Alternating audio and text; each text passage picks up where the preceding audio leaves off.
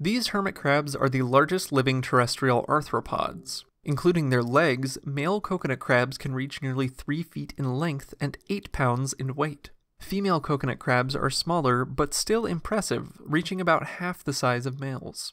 Coconut crabs live on Indo Pacific islands, and they're almost completely terrestrial. In fact, they only live in water during their larval stage. After that, they can drown if stuck underwater for too long. Adult coconut crabs are shellless hermit crabs. They develop a hard exoskeleton and strong pincers for defense and collecting food. They aren't called coconut crabs without reason, as they forage and consume coconuts, even climbing trees to reach these tasty fruits. They'll also eat other fruit, carrion, and the shells of other crabs.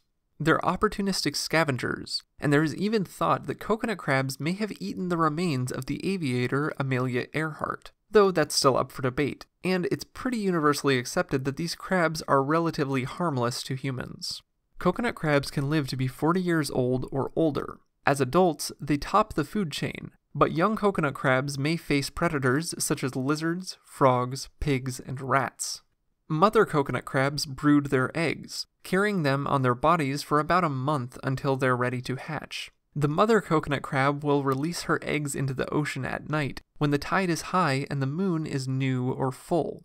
The currents at this time are more likely to pull the larvae out to the open ocean where the babies are less likely to face predation. The larvae will develop for just under a month, at which point they will make their way to shore, find a shell to hide in, and begin transitioning to life on the land. They will keep a shell like other hermit crabs until they're ready to withstand the world with their own exoskeleton. When they molt, coconut crabs bury themselves in sand to keep them safe from harm. It takes about five years for coconut crabs to reach the point where they are ready to have babies of their own. Since they aren't completely locked to the sea, coconut crabs sometimes live pretty far from the water. Some individuals have been seen as far inland as three and a half miles or more. They live in burrows. Those living near humans are more nocturnal as they are hunted by humans, and the dark offers them some protection. But in areas where they live free from human interaction, they are seen active during both the day and the night.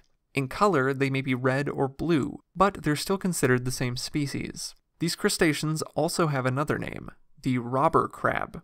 This name is apt as well, as they have frequently been documented stealing all kinds of tools from camps. Anything from the stove itself to large bottles of whiskey are up for grabs according to these crabs. Thank you to our patrons, Spike Spiegel 93, Dad, and everyone else for their support of this channel. For more facts on coconut crabs, check out the links below. Give a thumbs up if you learned something new today, and thank you for watching Animal Fact Files.